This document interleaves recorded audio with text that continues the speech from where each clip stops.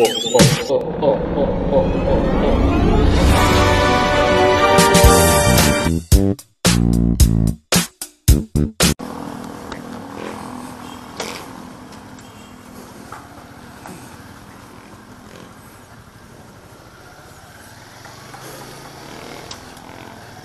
mga ka-oops, it's me again, Big Balad. So ngayon lang po ako nakapag-vlog ulit.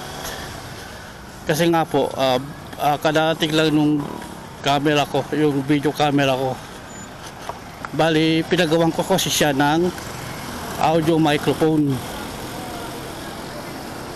Shoutout nga pala kay M3 Motovlog. Siya po yung gumawa ng audio microphone ng aking camera. So kaya ito, nakakapagsalita na tayo ngayon dito sa ka- camera ng live habang nagra-ride tayo. Habang nagda-drive ng motor.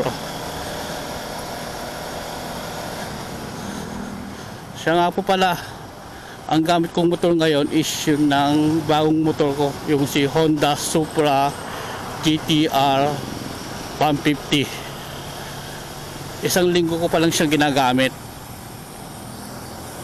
Bali, kinakabisado ko muna kasi nga ngayon lang kasi ako nakapag-drive ng motor na manual, yung may clutch.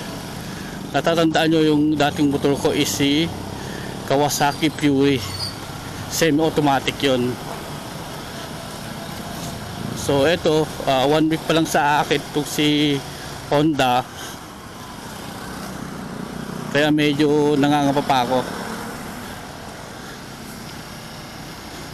hindi pa rin tayo pwedeng makapag uh, top speed dito kasi nga po break in ko pa lang siya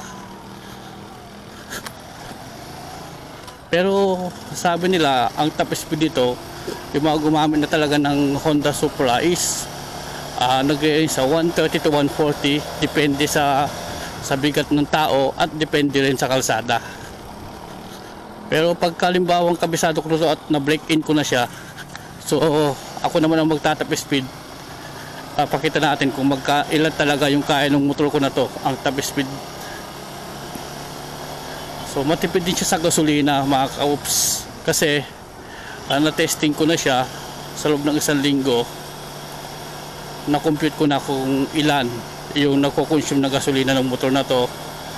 So umaabot siya ng 42 to 45 kilometer per liter.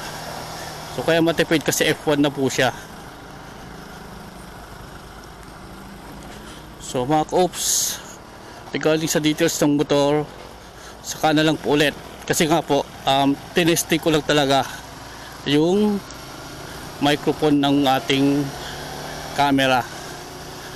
Sa susunod na vlog ko, regarding naman sa details ng bagong motor ko na GTR 150.